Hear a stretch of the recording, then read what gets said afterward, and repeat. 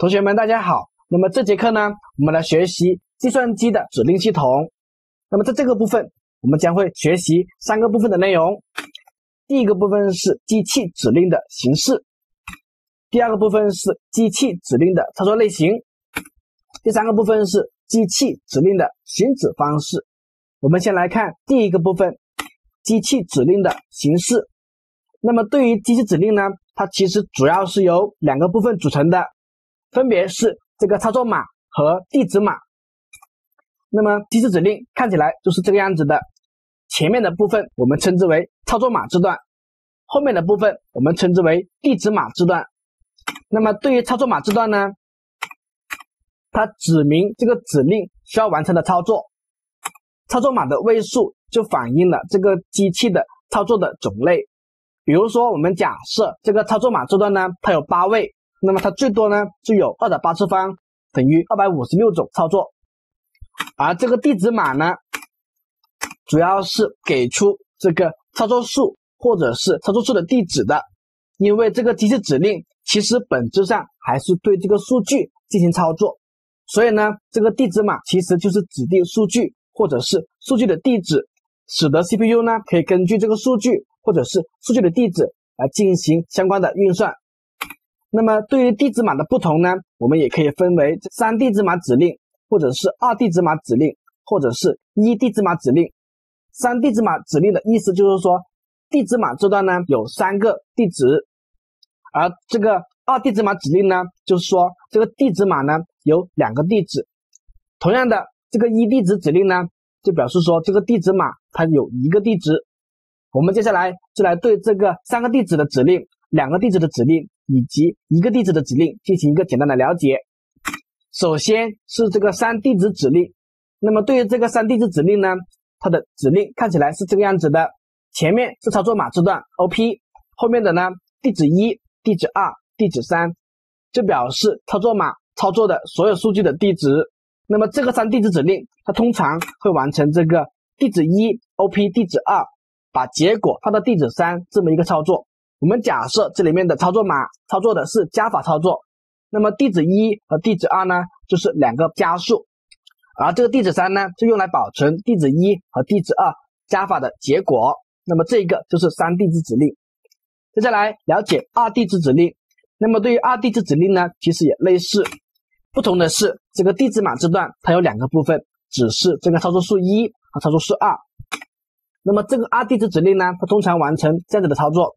地址一 OP 地址二，把结果呢放到地址一，或者是把结果放到地址二。那么这一个呢就是二地址指令。接着呢还有这个一地址指令。那么对于一地址指令呢，它通常是这样子的一个形式的，通常呢完成这样子的操作：地址一 OP 把结果放到地址一，或者是地址 OPACC，然后把结果放到这个 ADDR 一里面。什么意思呢？在这里面。第一个，我们可以把它理解为是自己对自己的操作，因为是自己对自己的操作，所以呢就不需要第二个操作数的参与。那么这个时候使用这个一地址指令就可以完成相关的指令表示了。第二个又是什么意思呢？第二个我们可以把它理解为是一个操作数，它做一个默认行为。那么这里面我们举的是自证的行为，因为自证呢它不需要第二个操作数的参与。所以这个时候自证的操作，我们使用这个一地址指令也可以完成相关的表示和操作。其实除了有地址指令以外，还有一种指令是无地址指令的，也称之为零地址指令。那么这是什么指令呢？这个指令指的就是在机器指令当中没有这个地址码，它通常呢是一些空操作、停机操作、中断返回操作等等，这些操作呢都是零地址指令。也就是在指令里面没有地址码的。好的，了解了这个机器指令的形式，我们接下来来学习第二个部分的内容：机器指令的操作类型。对于机器指令的操作类型呢，首先有这个数据传输类型的。那么数据传输类型呢，可以发生在寄存器之间，也可以发生在寄存器与这个存储单元之间，也可以发生在存储单元之间的传送。这里面的存储单元可以是主存，也可以是高速缓存，还可以是这个硬盘等等的辅存。那么数据传输也包括一些数据读写、交换地址数据，或者说是这个清零，或者是全质一等等操作。那么这些操作呢，都是属于这个数据传输的类型的。那么除了这个数据传输类型的，还有这个算术逻辑操作的类型，比如说加法操作、减法操作、乘法除法操作等等呢，都是属于这个算术逻辑操作的操作类型。还有呢，一些操作数之间的语运算、非运算等等的一些逻辑位运算，这些呢也是属于这个类型的。那么除了这个算术逻辑操作类型，还有这个移位操作。那么对于移位操作呢，比如说这个数据左移，或者说这个数据右移，那么这些都是属于移位的操作。那么对于数据来说，左移呢相当于乘以二，右移呢就相当于除以二。这个移位操作呢，也是这个完成数据在数字逻辑单元中的必要的操作。除此以外，还有这个控制指令。那么对于控制指令呢，主要是一些等待指令、停机指令。控操作指令、中断指令等等，那么这些指令呢，都是属于这个控制指令。好的，简单的回顾机器指令的操作类型，有这个控制指令，有这个移位操作的指令，还有这个数据传输的指令，还有这个算术逻辑操作的指令。接下来我们来了解这节课的第三个部分的内容。第三个部分，机器指令的行止方式。那么对于这个机器指令的寻址方式，其实就是说机器指令它是怎么样找到相关的数据的。那么在这里面就包括这个指令寻址，还有这个数据寻址。那么对于指令寻址呢，其实主要有两种方法。第一种方法呢是这个顺序寻址，那么第二个方法呢是这个跳跃寻址。这里面有一段程序。这段程序呢是保存在这个 CPU 的寄存器里面的。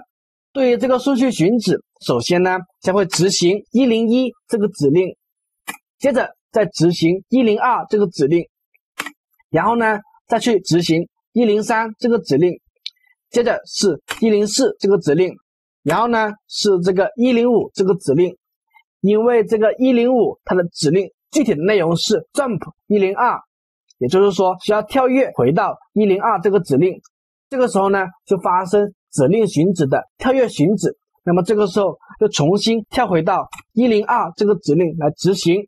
那么这个呢，就是指令的寻址方式，有这个顺序寻址，还有这个跳跃寻址。了解了指令寻址，我们接下来来学习数据寻址。那么对于数据寻址呢，主要有三种寻址的方法。第一种是。立即寻址，第二种是直接寻址，第三种呢是间接寻址。我们一一来看。首先是这个立即寻址。那么对于立即寻址呢，它的指令直接就可以获得这个操作数，也就是说指令里面是直接的包含这个操作数的。那么这种情况下呢，运行指令的时候就无需访问这个存储器。我们直接可以从这个指令里面获得这个操作数，比如说在这个指令里面，六这个操作数就是直接放在这个机器指令里面的。第二种呢是这个直接寻址，对于直接寻址呢，机器指令里面直接给出操作数在主存里面的地址，也就是说，在这个机器指令里面，这里面所给出的地址码所给出的地址呢。就是指向这个主存的指向的位置呢，就是这个指令的操作数。那么这种方法呢，寻找操作数简单，无需计算这个数据的地址。除了这个直接寻址，还有这个间接寻址。那么对于间接寻址呢，指令给出的地址码是操作数地址的地址。地址的地址怎么理解呢？举这个例子，比如说这条指令。那么 addr 二呢？它给出的地址呢，就是操作数的地址的地址。首先，它指向一个主存的位置，那么主存的这个位置存放的是操作数的地址，那么这个操作数的地址呢，就指向另外一片区域，那么这片区域存储的才是真正所需要的操作数。那么这一个寻址的方式呢，就需要访问一次或者多次储存来获取到操作数。比如说这里面呢，我们就需要多次访问储存。那么第一次呢，我们取这个 ADDR2 就得到这个操作数的地址。那么得到这个操作数的地址之后呢，我们才能从主存里面把这个操作数给取出来。那么对于这三种数据寻址的方式，我们也来做一个简单的对比。首先，对于这个立即寻址，它的优点是速度非常快。因为我们从这个机器指令就可以直接拿到这个数据，它的缺点呢是地址码的位数就限制了这个操作数的表示范围，因为呢这个数据是存放在这个地址码里面的，所以这个地址码的位数就可以限制这个操作数的表示范围。我们再来看这个直接寻址，那么对于直接寻址呢，它的优点是这个寻找操作数非常简单。我们只需要把这个地址拿出来，然后对应的在主存里面一找就可以找到这个数据了。那么它的缺点就是地址码的位数就可以限制这个操作数的寻址范围。接着我们再来看这个间接寻址。那么间接的寻址呢，它的优点就是操作数的寻址范围非常大，因为在间接寻址里面，机器指令的地址它指向的是操作数的地址，而操作数呢存储在另外一片区域里面。所以呢，这个间接寻址呢，它的优点就是可以表示很大范围的操作数。那么它的缺点是什么？